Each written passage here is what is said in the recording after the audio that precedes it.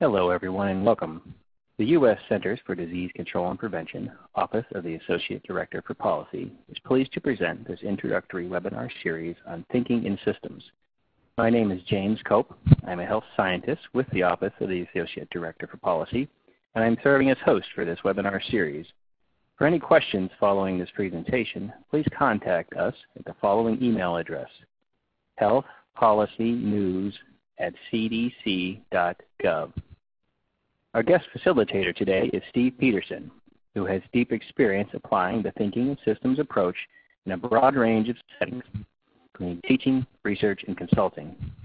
We also be joined by Dr. Jennifer Kaminski of CDC's National Center on Birth Defects and Developmental Disabilities.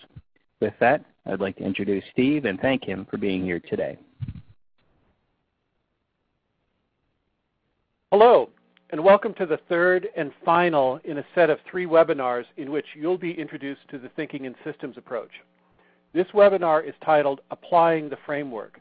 In this session, we'll walk you through a couple of case studies in which the Thinking in Systems framework was applied to better understand public health issues and to begin to provide insight into productive policy responses. I'm Steve Peterson, and I'll be leading these webinars. I've been a practitioner of this stuff for over 35 years, and my aim in leading the webinars is to help you develop your skills so that you can use the Thinking in Systems approach to gain insight into public health issues and improve public health outcomes. Let's get started. It's important to start with a few acknowledgments and disclaimers. I'm the primary developer of the content for the first two webinars, and I developed the first case study that you'll be seeing today. When I draw from work done from others, I'll acknowledge that effort on the relevant slide. And it's important to note that the funding for this webinar was made possible by the Centers for Disease Control and Prevention and ChangeLab Solutions under cooperative agreement that you see here. The findings and conclusions of this presentation and are those of the authors and do not necessarily represent the official position of the Centers for Disease Control and Prevention. Before we dig into the content, I'd like to give you a bit of an overview both of the series and of this particular webinar. One way to clarify what we're aiming to do in this series is to start with purpose. What are we trying to do here? The purpose of these sessions is straightforward. We're aiming to use these three webinars to help you build your skills in using what I'm calling the thinking in systems approach. This approach has been around for a long time. We recently celebrated the 60th anniversary of the founding of System Dynamics, which provides the analytical underpinnings for the approach, and it has great value in supporting productive thinking about public health issues. In the first webinar, we focused on some of the fundamental components of the toolset. You learned about the thinking and systems process, and you gained a bit of insight and practice using the supporting skill set. Central to that skill set is the use of stocks and flows to represent the underlying structure of a dynamic process, and then using the map that you create to think about how the problem behavior evolves over time. In the second webinar, we outlined a set of approaches that I found to be very helpful as conversation starters. These conversation starters can help you to gain traction in thinking physically and operationally about public health issues. In my experience, these approaches are effective when you're working on your own. They can be very effective in a group setting as well. If you're watching the recording of this webinar and haven't yet spent time with the first two sessions, I'd encourage you to do so now. These webinars build on one another, and we'll be drawing on the skills developed in the previous webinars during this session. In today's session, we'll be focusing on a set of real-world contexts. We'll be using the thinking in systems approach to gain insight into some challenging public health issues. Today, we'll show how the thinking in systems approach can be used to improve understanding of real-world systems problems, and you'll get a better sense for how the approach might be used to stimulate policy responses. Our intent is to be as hands-on as possible. And if previous experience in workshops is to be a guide, and I've run a lot over the years, these sessions are likely to be pretty intense as you work with what may be new concepts and ideas. Today, for example, you may feel a bit like you're taking a drink from a fire hydrant. This stuff is like many topics. You can learn about thinking in systems by listening, But your learning journey may not take you very, very far. To learn to think in systems, you really need to engage in the process of building stock and flow maps and then relating these to the dynamics of a policy issue. Given the constraints of this webinar approach, this will be a challenge. One way for you to overcome that challenge is to work with me. So take a minute now and get out a pad of paper and a couple of sharp pencils. You'll need them. This presentation draws from public health examples to illustrate key concepts of thinking in systems, but you should keep in mind that these are just examples for teaching purposes, and the concepts are generalizable to any topic of interest.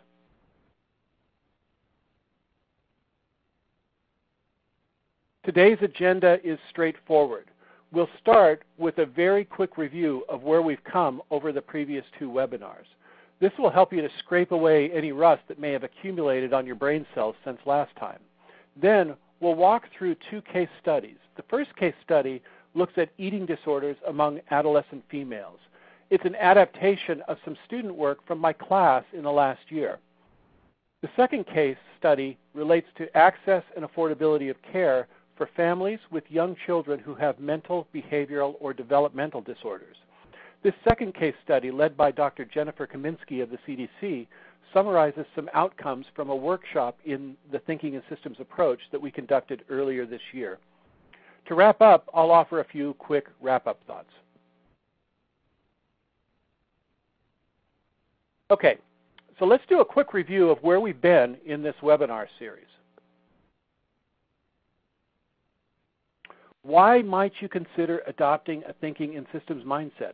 Well, one way to think about this is to consider the nature of systems problems. I like to think about systems problems as having some important and common characteristics. Among them, dynamics in the sense that they involve change over time. They're often driven by multiple interdependent players, often with diverse interests. These interdependencies cross multiple boundaries. They cross geographic boundaries across communities.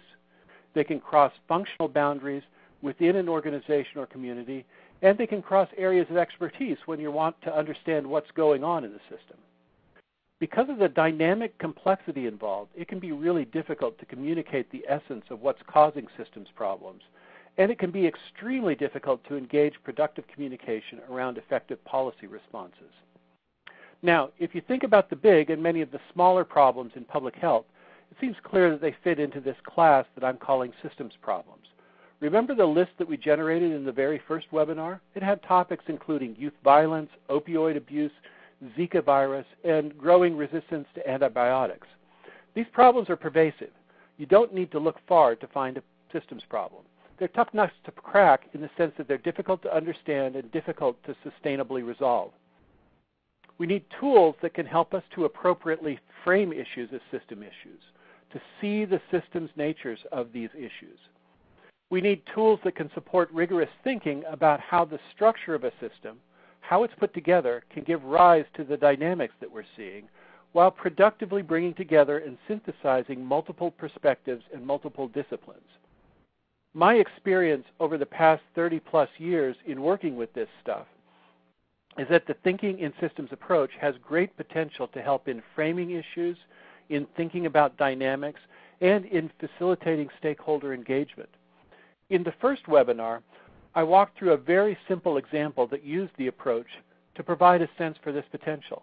And in the second webinar, we used a set of conversation starters to show how the approach could be used to improve thinking around a sustainability issue for developing areas.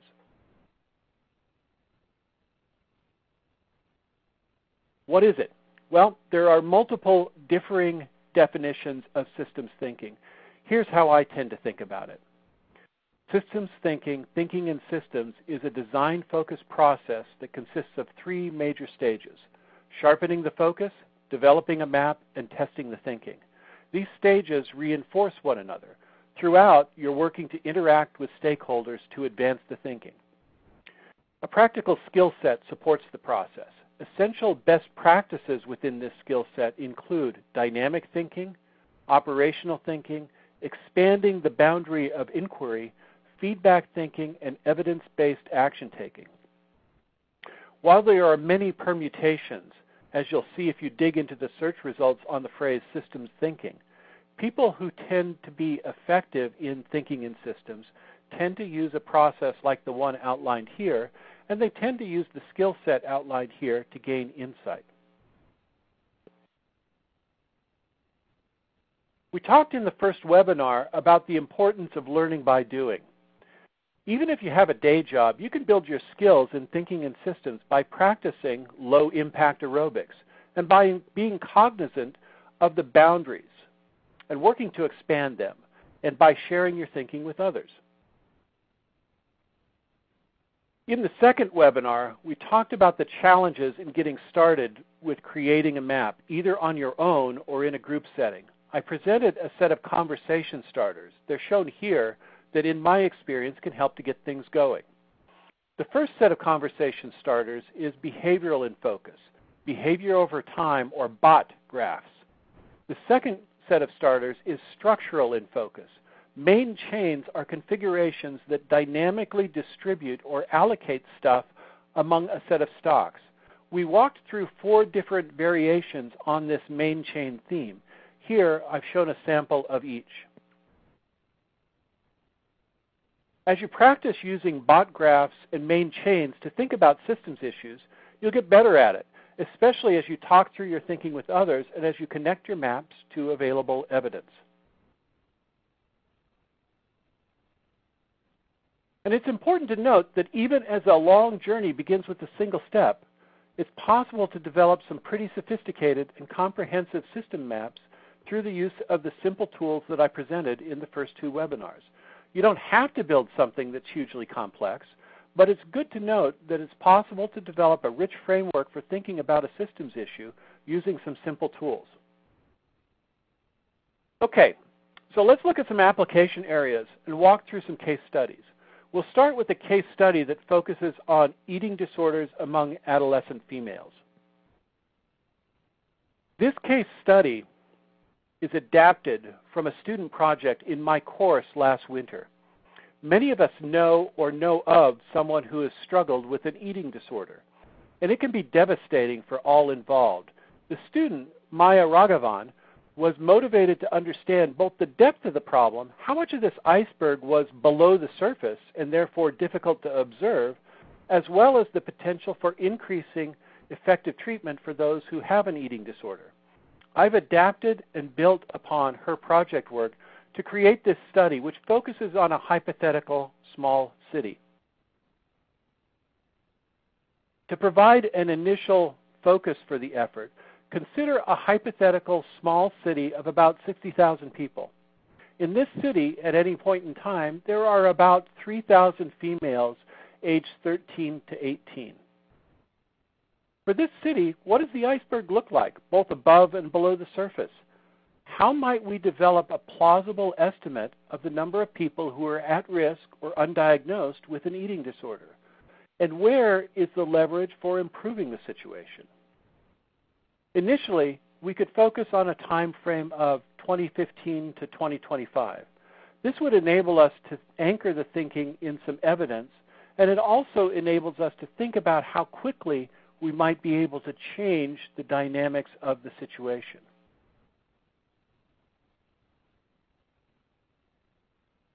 Given this initial focus, how do we get going? This is where conversation starters can be extremely useful. A good conversation starter is to sketch out a behavior over time graph. A bot graph often helps to expose gaps in our thinking and can facilitate very productive conversations in a group setting. I think that's the case here. Take a minute and think about how you would use a bot graph to think about this problem. What would you put on the x-axis? And what would your sketch look like? What questions come to your mind as you develop your bot? If you're working in a group context, how might that conversation be turbocharged by what gets sketched? Take a minute now and sketch out a graph. I'll wait here for you.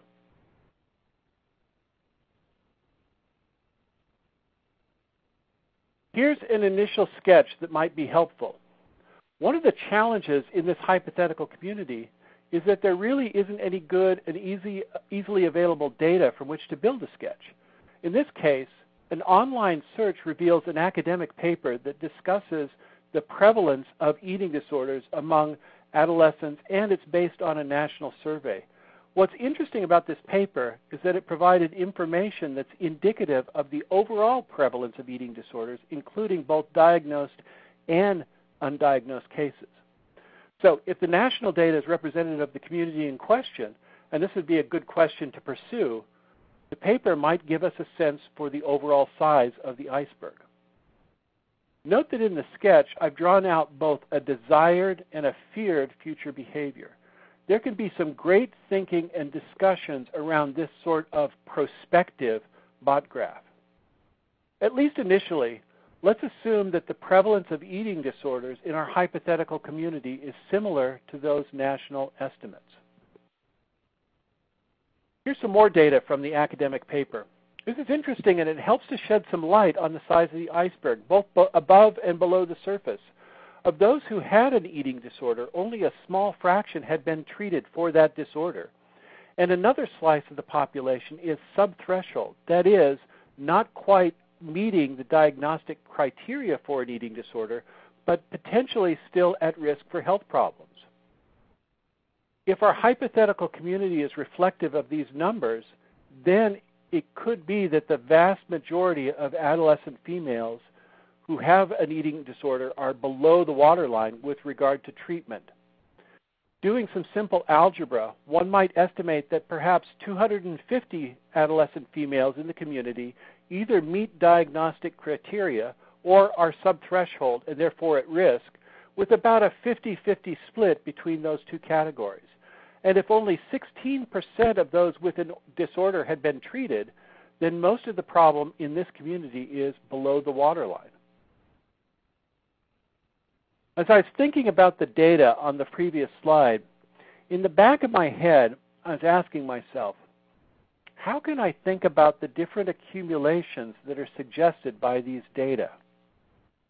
What are the activities, the flows that can fill and drain those accumulations?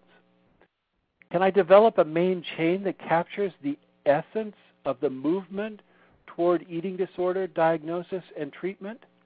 I wonder, were you beginning to visualize in your mind's eye a stock and flow map? Here's an initial main chain that might get things going. This three stock structure, and I'll often start with three stocks, captures adolescent females who are first without an eating disorder, with an eating disorder but undiagnosed, and then finally with a disorder and diagnosed and treated. The flows in this main chain represent a progression from one stage to the next. This is a pretty good start, but it has some problems. First, there may not be enough granularity to capture some of the nuance suggested by the data. We'll come to that in a minute. Perhaps more important, though, this map suggests that all female adolescents develop an eating disorder. That's a real problem. An addition of some flows to this map to represent the aging of adolescent females through the system begins to help show why not all adolescent females would develop an eating disorder. Here, I've made the simplifying assumption that all 13 year olds enter the system without an eating disorder And this would be a really good topic for group discussion. And we've shown that individuals age out of the system.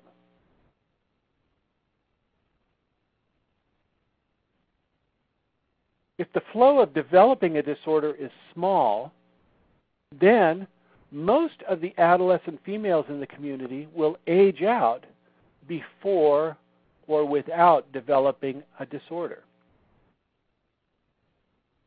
we still have the issue of insufficient granularity in the map. This map doesn't show, uh, doesn't, doesn't draw attention to those adolescents who are subthreshold, that is, who do not meet the di- diagnostic criteria and therefore could be considered at risk, nor does it examine or capture treatment dynamics.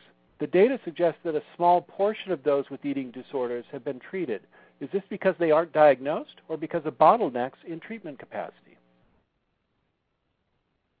Here's a revised structure that provides a more granular picture of the system. In this map, we've added some important structure. We've added an at-risk pool, which we're taking to be the sub-threshold adolescents, and that's about 4% of the surveyed population. We've added a downstream treatment dynamics set of pools. So we can distinguish between those who have been diagnosed but not yet treated, those under treatment, and those who are formally treated. At any point in time, we could, in concept, do a census of adolescent females in our community to determine the distribution among these different buckets. And that distribution might help to inform policy responses. Maps like these are great ways to support productive conversation. The process of talking stakeholders through a map like this and eliciting their input can help to build everyone's understanding and can support a richer picture of the structure of the system. It can also force you back to look at evidence about the real system, which is always a good thing to do. As you see here, I've used fill levels to represent and provide a bit of sense for the relative size of the different buckets. Most of the adolescent girls in this community did not exhibit an eating disorder, so I've just left that stock unfilled. For the other stocks, we used some simple systems reasoning to help fill in the stocks and to get a sense for the size of the flows. The basic idea here is to consider what it takes for a stock to be in balance.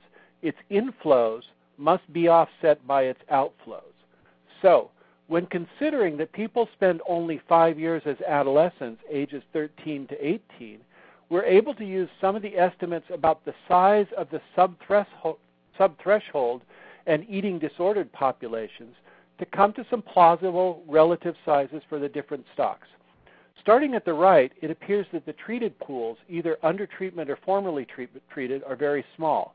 Only 16% of 4%. That's not very much.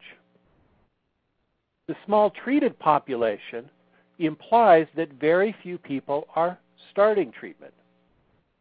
If we assume that treatment occurs very quickly after diagnosis for a eating, eating disorder, then it's likely that the diagnosed but not yet treated pool is very small as well. So the implication of these pieces of reasoning is that we have a relatively large undiagnosed pool and a relatively large at risk pool with likely small flows of diagnosing and entering treatment. It's possible, but beyond the scope of this set of webinars, to use a formal simulation to arrive at defensible numbers for the rate of becoming at risk, developing a disorder, and the like. Given this distribution, we can begin to think about potential points of leverage in the system. Two are suggested by the large volumes in those two stocks. The pool of at-risk females, what might we productively do to productively reduce the size of this pool? The undiagnosed pool, how might we speed diagnosis and effective treatment? Let's take a look at each of these potential points of leverage. For the at-risk pool, it seems like we may have been missing an important point of leverage. What if we could pull people from the at-risk pool back into the first pool? Make them without an eating disorder. This may be possible, and it's suggestive of an important point. You can change the magnitude of a stock by acting either on its inflow or on its outflow. In this case, adding a flow back to the first stock gives us some policy space to consider both reducing the inflow of becoming at risk and the flow of increasing the outflow back to those without an eating disorder. Now, there's another way to remove the at risk pool by speeding the development of the full blown disorder. That's not a good idea. We may want to constrain that flow if possible. Now, although many schools are overburdened with multiple challenges, those who interact with adolescents may have great potential to be a focal point for reducing the flow of becoming at risk and, oh, excuse me, may have a, a great potential to be a focal point for reducing the flow of at risk and increasing the flow back from the at-risk pool through the adoption and the use of evidence-based resources. Curriculum materials are readily available at low cost, and these could be integrated into health classes at the high school, for example. At the middle school level, best practices training, perhaps for volunteer coaches or for physical education teachers, might help to enculturate the use of evidence-based resources in the community. For the undiagnosed pool of adolescent females with eating disorders, a critical concern is the diagnosis process. How might we support improved recognition of the signs and symptoms and support movement toward diagnosis and then back into effective treatment? It's important to identify and, if possible, remove bottlenecks along the pathway to diagnosis and then to treatment. A perhaps unexpected but important outcome of the adoption of evidence-based resources by those involved in working with youth is an increased sensitivity towards the signals that an individual may have an eating disorder. As suggested here, that increased sensitivity in turn could facilitate movement towards diagnosis. There's a great discussion to be had about how to facilitate this set of activities. From a policy perspective, this may be low hanging fruit.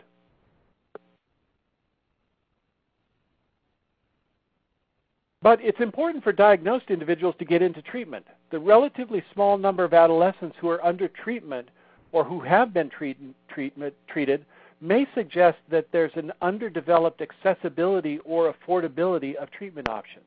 It may be important to develop that capacity in order to treat eating disorders effectively. However, it's important to note that reductions in the risk pool could reduce the requirements for this capacity. You may need less treatment capacity simply because fewer individuals are developing an eating disorder. The map suggests that you might be able to solve these downstream problems by working around and working and focusing on at risk students. There's a lot in this student project that I haven't covered. But the example has illustrated how the interplay between mapping and evidence can help to build confidence in one's assessment of the current state of affairs for a systems problem.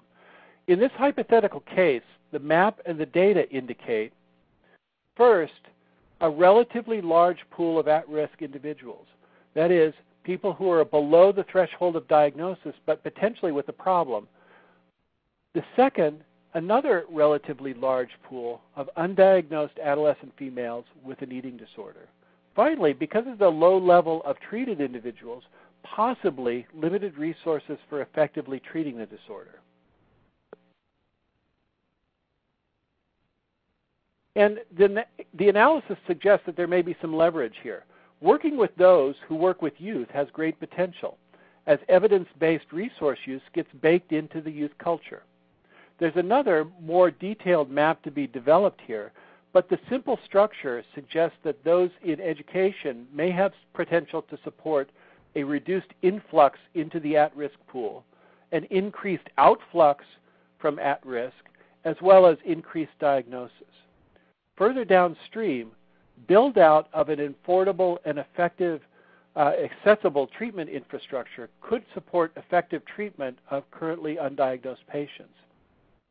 As I think about the potential outcomes of these initiatives, it seems possible that prevention based initiatives may be of greatest leverage and may ameliorate to some extent the need for treatment by fixing the problem before it happens. In the real world, as opposed to our hypothetical community, these initiatives might be tough to pull off. Educators face many competing demands on their time and energy, and it would be important to engage these stakeholders in the sustained application of evidence based resources. And on the infrastructure side, it's not at all clear how long it would take to improve diagnostic and treatment capacity. Treatment can be expensive and can have stigma attached. How might we develop this capacity in today's budget constrained world? Addressing these challenges could form the basis for additional thinking and systems, bringing in relevant stakeholders and co creating a desired future. We're now going to shift gears a bit and we'll turn to an application that came out of a Thinking in Systems workshop held at CC- CDC earlier in 2017. I'll hand things over now to Dr. Jennifer Kaminski. Thank you, Steve, for that introduction and, and for how instrumental you've been in moving our work forward using these systems thinking tools. Thanks also to James and others in Prado who allowed our work to benefit from yours and for inviting me to share our story of applying systems thinking to our challenging issue. I'd first like to give a quick background on my team to give you a sense of context for this work. I am the team lead for the Child Development Studies team in the National Center on Birth Defects and Developmental Disabilities. Our team has a rather broad portfolio of work including potentially all aspects of children's mental health. Through surveillance and etiologic research, we characterize children's mental disorders, co-occurring conditions, and risk and protective factors. We support the development, validation, and refinement of measures to facilitate earlier diagnosis. We develop evidence and tools to connect more families to evidence-based prevention and treatment. And through our partners, we disseminate evidence-based programs and information to professionals and families. We have specific appropriations for attention deficit hyperactivity disorder, or ADHD, and for Tourette syndrome. We also have more general child development funding that we use for both prevention-related work and for treatment-related work. Our vision is to build healthier futures for children with or at risk for mental, emotional, and behavioral disorders. Some of you may remember that our work on supporting recommended treatment for young children with ADHD was adopted as one of CDC's later winnable battles. That work centered around the Professional Academy's recommendations that the first line of treatment for children under six years with ADHD should be behavior therapy rather than medication. In this age group, the type of behavior therapy with the strongest evidence base is parent behavior therapy, in which parents learn techniques and skills that they can use in their everyday interactions to help their young child with ADHD. And although a number of well validated parent behavior therapy programs exist, they're not widely available, even in metropolitan areas. Medicaid claims data from 2012 provided evidence suggesting that fewer than half of young children with ADHD had received any psychological services in the previous year, a category that includes evidence based parent behavior therapy and other non evidence based therapies. Our goal was to identify ways to support best practices for these vulnerable children and families. Our approach to helping improve that alignment between current practice and best practice included three focus areas shown here at the top. Developing evidence and tools to connect more families to evidence-based treatment, informing policy decisions to guide best practices, and increasing awareness of behavior therapy as the first-line treatment for children with ADHD. The case study I'm describing today fits under our focus area of informing policy decisions. One early aspect of that focus area was a cooperative agreement through the OSTLTS 13 1302 mechanism to ChangeLab Solutions, in which we set out to examine policy approaches to guide physicians towards best prescribing practices. In their first year, we worked with ChangeLab to examine the impact of medication related policies a relatively narrow focus on a single set of policy levers. In the second year, we shifted to identifying policies that could influence the availability, affordability, and accessibility of evidence-based parent behavior therapy. In other words, the policies influencing the system that determines whether or not families receive parent behavior therapy. That system includes families, schools, therapists, referring healthcare providers, employers, and payers, hence a complex challenge. Our preliminary review of the published literature revealed a set of studies on individual policies and aspects of the system by which children and families receive behavioral health services, with no clear consensus to guide where we should focus our work. With limited resources but high motivation to have an impact, we needed to identify the most critical pain points and key levers in the system. I put this challenge to ChangeLab Solutions, who had just come from meeting with Prado about their systems thinking work. ChangeLab suggested that we explore coordinating our work with Prado to use systems thinking approaches to identify the policy levers we should focus on first. As it happens, I was already familiar with systems thinking, having participated in the systems thinking facilitation trainings that PPEO has orchestrated. So I recognized how valuable those tools could be for our project, specifically a stock and flow map of the system that serves young children with mental, emotional, and behavioral disorders and their families. In April, we brought together 10 experts from relevant professional organizations, education, children's hospitals, child mental health policy experts, licensed behavioral health providers, and other relevant federal agencies. We selected these participants because we knew they already worked at the system level, either in research, policy, or practice. We specifically selected experts who were not siloed thinkers. On day one, in order to make best use of our day and a half with them, Steve only spent an hour going over the basic stock and flow mapping concepts for them, rather than the longer time we might have spent on that with experts not already immersed in a particular system. Next, we presented them with a draft stock and flow map we had developed as a conversation starter.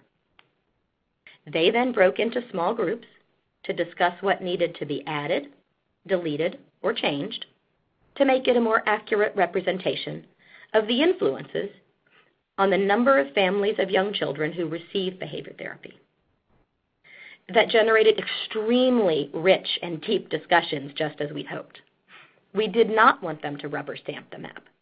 We wanted them to tear it down if needed and build it back up so that we had an accurate representation of the major stocks and flows at work in this system.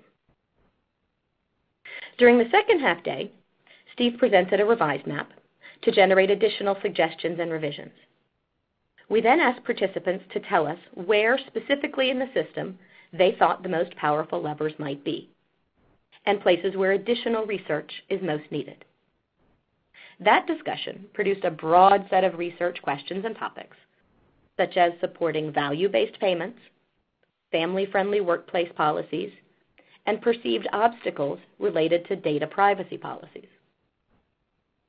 Interestingly, a recurring theme in participant comments was to ask why we were not looking at upstream prevention, given that we are the CDC. In other work, of course, we're trying to identify effective policies and programs to prevent impairment from mental, emotional, and behavioral disorders. We are considering replicating this process with a somewhat different set of experts to map and identify levers within the prevention system that reaches families of young children. The map shown here is presented as final only in that this is the last version we asked Steve to represent in a formal stock and flow figure.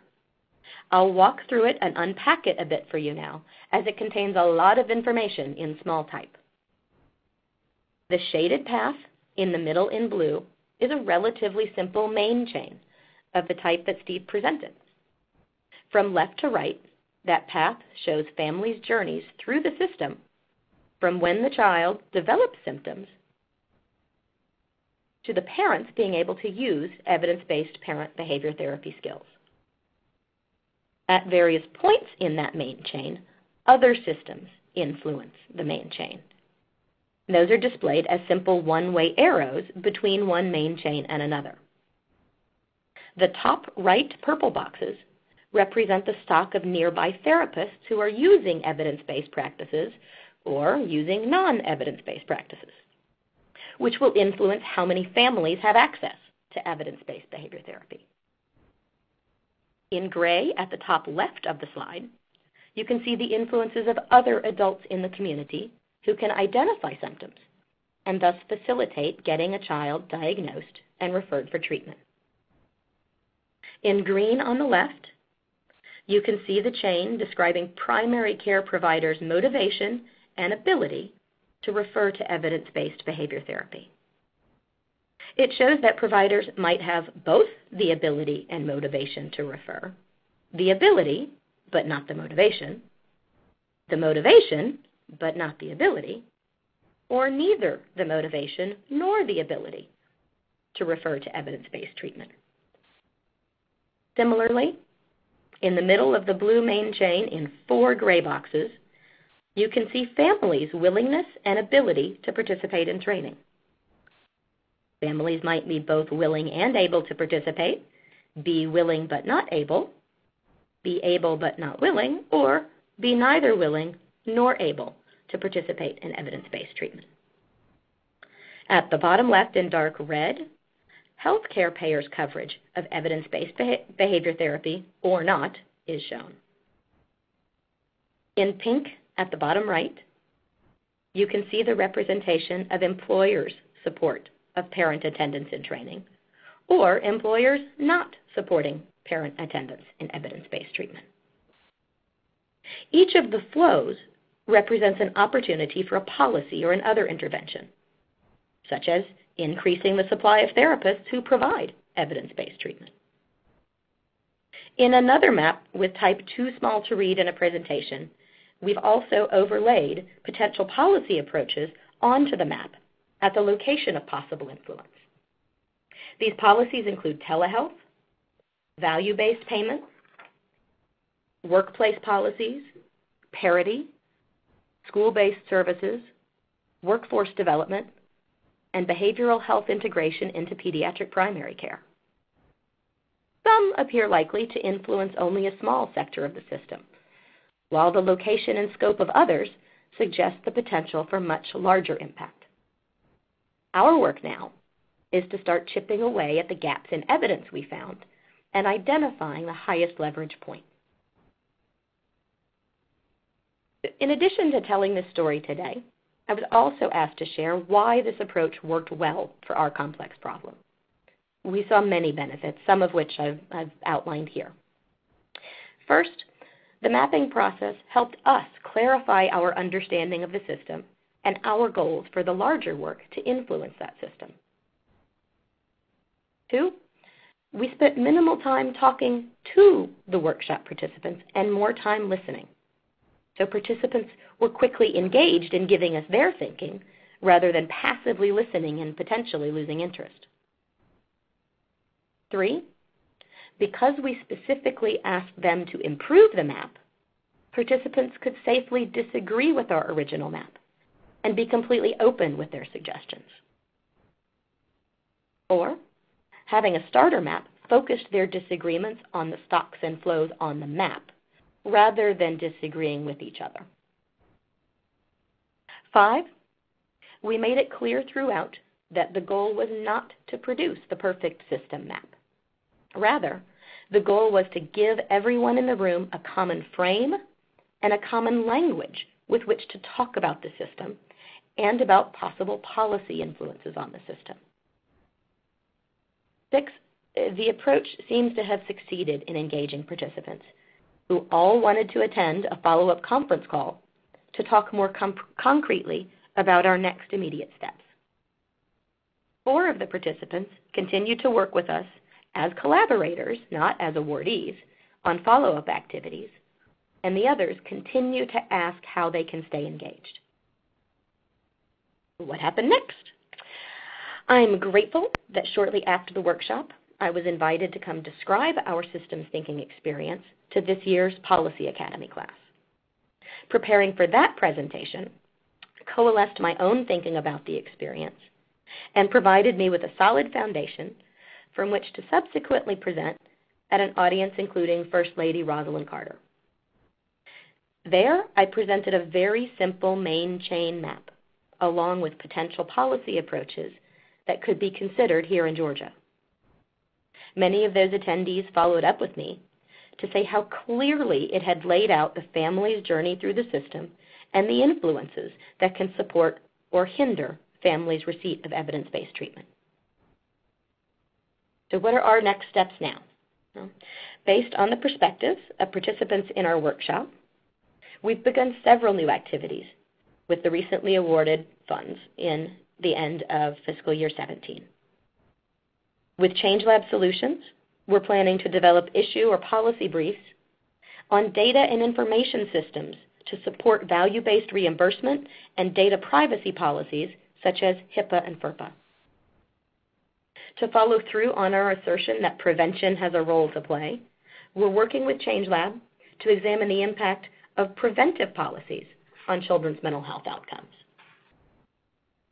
With two of the workshop attendees, we're collaborating on analyses of the role of federally qualified health centers in providing children's mental health services. And finally, we're providing support to the National Academies of Science, Engineering, and Medicine to develop pediatric healthcare quality measures that can be used as deliverables in a value based reimbursement environment. I can honestly say that none of these activities would have been generated by our team alone or without having worked through a stock and flow map with our experts. As we've reached out to others about these new activities, the response has consistently been that there's a huge need to tackle these issues. So we feel this was a very successful approach to identify where we can best spend our limited resources to help more families of young children get connected to evidence based treatment. I have my acknowledges listed here, and as well, I'd like to thank all of you for your time uh, and allowing me to share how we use systems thinking. And now I will pass it back to Steve to wrap us up. Okay, so this is Jen's con- contact information, and uh, let's uh, let's wrap up. So this is the last time you'll see this diagram in this webinar series, I promise.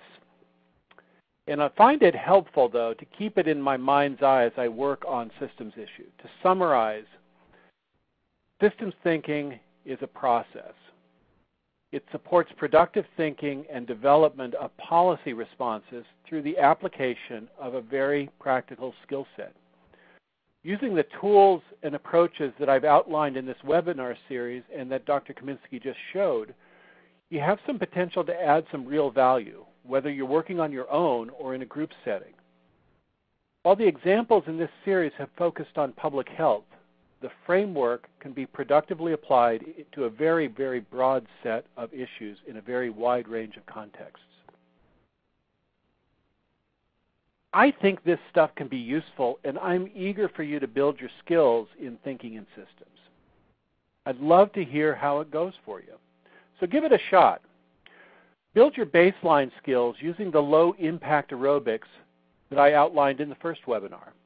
Get things going with the conversational starters from the second webinar and try your hand at a more fully developed map. The case studies that we presented here today are suggestive of what's possible. Okay, that's it. Please use the following contact information if you have questions or if you want to let us know how it's going for you. Health Policy News at cdc.gov.